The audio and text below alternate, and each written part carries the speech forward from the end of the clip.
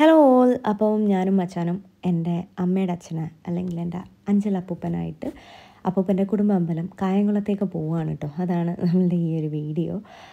ശരിക്കും പറഞ്ഞു കഴിഞ്ഞാൽ ഈ വർഷം ടു തൗസൻഡ് ട്വന്റി ഫോർ ജാൻ ടൈമിൽ അവിടെ അമ്പലത്തിൽ ഉത്സവം ഉണ്ടായിരുന്നു. അപ്പോൾ ആ ടൈമിൽ നമ്മൾ കമ്മിറ്റ് ചെയ്തിരുന്നു അപ്പൂപ്പനെ കൊണ്ടുപോകാമെന്ന് വിചാരിച്ചിരുന്നു.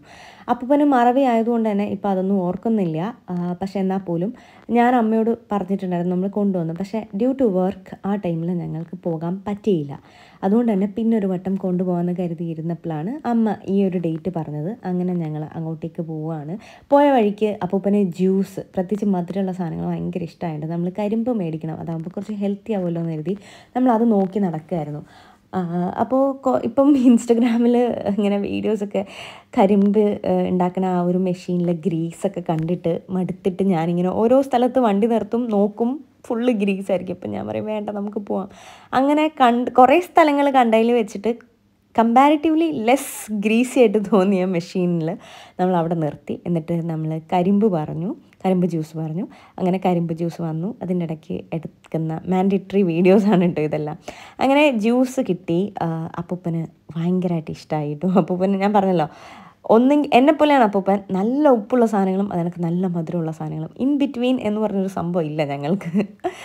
ചെറുതായിരുന്ന സമയത്ത് എന്നെ വളർത്തിയതൊക്കെ അപ്പൂപ്പനാണ് കേട്ടോ പഠിപ്പിച്ചതും അപ്പൂപ്പന്റെ കൂടെയാണ് ഞാൻ കിടന്നുറങ്ങുന്നതും അപ്പൂപ്പനാണ് എന്നെ നുള്ളി പഴിപ്പിച്ചിരുന്നു ഓരോന്ന് പഠിപ്പിക്കുന്നതും ഒക്കെ അപ്പൂപ്പനായിരുന്നു കേട്ടോ നിങ്ങൾ ഈ ട്രാഫിക് സിഗ്നൽ ഒന്ന് ശ്രദ്ധിച്ചേ.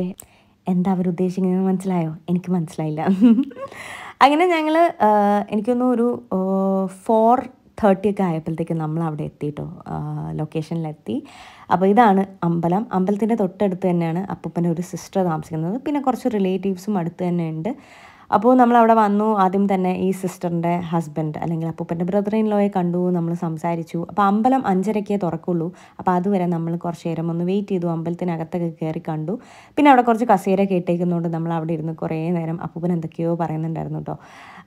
അപ്പോൾ അപ്പൂപ്പൻ പറയുന്നത് കേട്ടിരുന്നു ഇത്രയും ദൂരം വണ്ടിയിൽ ഒറ്റ സ്ട്രെച്ചിലിരുന്നത് കൊണ്ട് അപ്പൂപ്പനെ കൊണ്ട് ഞാനൊന്ന് നടക്കാൻ ഇറങ്ങി കുഞ്ഞുനാൾ തൊട്ട് ഞാൻ ഏറ്റവും കൂടുതൽ ക്ലോസ് എന്റെ അപ്പൂപ്പനായിട്ടാണ് കേട്ടോ. റീസൺലിയാണ് എന്റെ അച്ഛന്റെ അമ്മ മരിച്ചത്. അപ്പോൾ അമ്മൂമ്മയുടെ ഒരു അൺഎക്സ്പെക്റ്റഡ് അല്ലെങ്കിൽ ഒരു സഡൻ ഡെത്ത് ആയിരുന്നു. സൈലന്റ് അറ്റാക്ക് ആയിരുന്നു. രാത്രി ഉറങ്ങാൻ കിടന്നു. രാവിലെ എണീറ്റില്ല. അതിനുശേഷമാണ് ഞാൻ ഇതേപോലെ ചെറിയ ചെറിയ കാര്യങ്ങൾ ഒരുപാട് എൻജോയ് ചെയ്യാൻ തുടങ്ങിയത് കേട്ടോ. ആൻഡ് ഇപ്പം എനിക്ക് എന്താ പറയുക അപ്പൂപ്പനായിട്ട് ഇങ്ങനെ എനിക്ക് കിട്ടുന്ന ചാൻസസ് ശരിക്കും പറഞ്ഞാൽ ഈ ഒരു ദിവസം ഞാൻ അത്രയ്ക്ക് വെല്ല അല്ലായിരുന്നു. അത്രയ്ക്കും സുഖമില്ലായിരുന്നു. അപ്പോൾ എനിക്ക് പോകണോ വേണ്ടോ എന്ന് രാവിലെ എണീറ്റപ്പോഴത്തെ ഒരു ഡൗട്ടും ഉണ്ടായിരുന്നു. പക്ഷെ പിന്നെ ഞാൻ ആലോചിച്ചപ്പോഴത്തേക്കാണ് ഞാൻ പിന്നെ വിചാരിച്ചു എന്ത് വന്നാലും പോകണം. അങ്ങനെ അഞ്ചര ആയപ്പോഴത്തേക്ക് പൂജാരി വന്നു അമ്പലം തുറന്നു ഒന്ന് പ്രാർത്ഥിക്കുകയൊക്കെ ചെയ്തു അപ്പൂപ്പൻ. അത് കഴിഞ്ഞതിന് ശേഷം അവിടെ നിന്ന് തന്നെ പായസം കിട്ടി. അപ്പൂപ്പന്റെ മറ്റൊരു സിസ്റ്ററാണ് കേട്ടോ ഈ ഇരിക്കുന്നത്. പുള്ളിക്കാരത്തി അമ്പലം വിസിറ്റ് ചെയ്യാൻ വന്നതാണ്. പക്ഷേ എന്തോ ഭാഗ്യത്തിന് അപ്പൂപ്പനെ ഉണ്ടായിരുന്നു എന്ന് അറിഞ്ഞില്ല. അപ്പോൾ അപ്പൂപ്പനെയും കാണാൻ പറ്റി. കുറച്ച് നേരം അങ്ങനെ ഇരുന്ന് സംസാരിച്ചു. അതൊക്കെ കഴിഞ്ഞു. നമ്മൾക്ക് കുറേ സ്നാക്സും ചായയൊക്കെ തന്നു. ഞങ്ങൾ ചായ കുടിക്കാത്തതുകൊണ്ട് തന്നെ ഏത്തപ്പഴവും അതേപോലെ ചിക്കും ഒക്കെ തന്നു. അങ്ങനെ അതൊക്കെ കഴിച്ച് നമ്മൾ എല്ലാവരോടും സംസാരിച്ച് ഇങ്ങനെ ഇരിക്കും. എന്റെ അപ്പൂവിനൊരു സ്വഭാവം ഉണ്ട് കേട്ടോ. എവിടെ പോയാലും അവിടെ പോയ കാര്യം കഴിഞ്ഞെങ്കിൽ അപ്പം ഇറങ്ങണം. അപ്പോൾ കുറേ നേരം കൊണ്ട് അപ്പം പറയണത് ആ ശരി എങ്കിൽ ഞങ്ങൾ ഇറങ്ങട്ടെ ഇറങ്ങട്ടെ എന്ന് പറയുന്നുണ്ടായിരുന്നു. പക്ഷെ അവരിങ്ങനെ പിടിച്ച് വേണ്ട ചേട്ടാ ഇരിക്കുക കുറേ നാൾക്ക് ശേഷമല്ലേ കാണുന്നത് എന്ന രീതിയിൽ ഇങ്ങനെ പിടിച്ചു വെച്ചേക്കുമായിരുന്നു അത് കഴിഞ്ഞ് ഇരുട്ടായപ്പോൾ ഞാനും പറഞ്ഞു ഓക്കെ എങ്കിൽ നമ്മൾ ഇറങ്ങുക. അപ്പോൾ തൊട്ട് ഫ്രണ്ടിൽ വേറെ റിലേറ്റീവ് ഉണ്ടായിരുന്നു. റിലേറ്റീവിന്റെ വീട്ടിൽ പോയി. അപ്പോൾ അവിടെയുള്ള മീൻ മീൻകുട്ടന്മാരാണ് കേട്ടോ ഇത്. അപ്പോൾ റിഫ്ലക്ഷനിൽ ഞാനും മച്ചാനുമാണ് നിങ്ങളീ കാണുന്നത്. ഈ വീട്ടിലൊരു അഞ്ച് മിനിറ്റ് ഇരുന്നുള്ളൂ കേട്ടോ കാരണം നമ്മൾക്ക് തിരിച്ച് പോകണമായിരുന്നില്ലെങ്കിൽ നമ്മൾ ഒരുപാട് ലേറ്റ് ആവും എന്നറിയാവുന്നതുകൊണ്ട് നമ്മൾ പെട്ടെന്ന് തന്നെ ടാറ്റ ബൈ ബൈ പറഞ്ഞിട്ട് പോയി. പോകുന്ന വഴിക്ക് ഞങ്ങളുടെ ബാക്കിലൊരു പോർഷ ഉണ്ടായിരുന്നു കേട്ടോ ബാക്കിൽ നിന്ന് ഇങ്ങനെ മിററിൽ കണ്ടപ്പോൾ എനിക്കൊന്ന് ബ്ലാക്ക് ആണെന്ന്.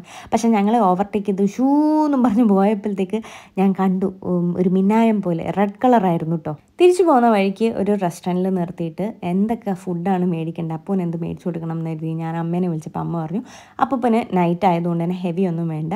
തട്ടുദോശ അപ്പൂന് ഭയങ്കര ഇഷ്ടമാണ് സോ അത് മേടിച്ചു കൊടുത്താൽ മതി എന്ന് പറഞ്ഞു. അപ്പോൾ നമ്മൾ ആദ്യമേ ഒരു റെസ്റ്റോറന്റിൽ കയറിയിട്ടുണ്ടായിരുന്നു അപ്പോൾ അവിടെ നിന്ന് എനിക്ക് വേണ്ടിയിട്ട് ഒരു ബിരിയാണി മാത്രം മേടിച്ചു കേട്ടോ. എന്നിട്ട് അപ്പൂപ്പന് കുറച്ച് അപ്പുറത്ത് ആ, വിഷ്ണുവിന് അറിയാവുന്ന ഒരു ഷോപ്പുണ്ട്. അവിടെ നിന്ന് തട്ടുദോശ മേടിക്കാമെന്ന് പറഞ്ഞു. അപ്പോൾ എനിക്ക് ശരിക്കും പറഞ്ഞാൽ ഈ തട്ടുദോശ അത്ര ഇഷ്ടമുള്ള ആളൊന്നുമല്ല. അപ്പോൾ വിഷ്ണു അത് മേടിച്ചിട്ട് വന്നപ്പോൾ എന്റെ അടുത്ത് പറഞ്ഞു നല്ല ടേസ്റ്റിയാണ് കേട്ടോ സൂപ്പർ എന്നൊക്കെ പറഞ്ഞു. പക്ഷേ ഞാൻ അത് വിശ്വസിച്ചില്ല. പക്ഷെ നല്ല മണം വരുന്നുണ്ടായിരുന്നു കേട്ടോ കവറിന്ന്.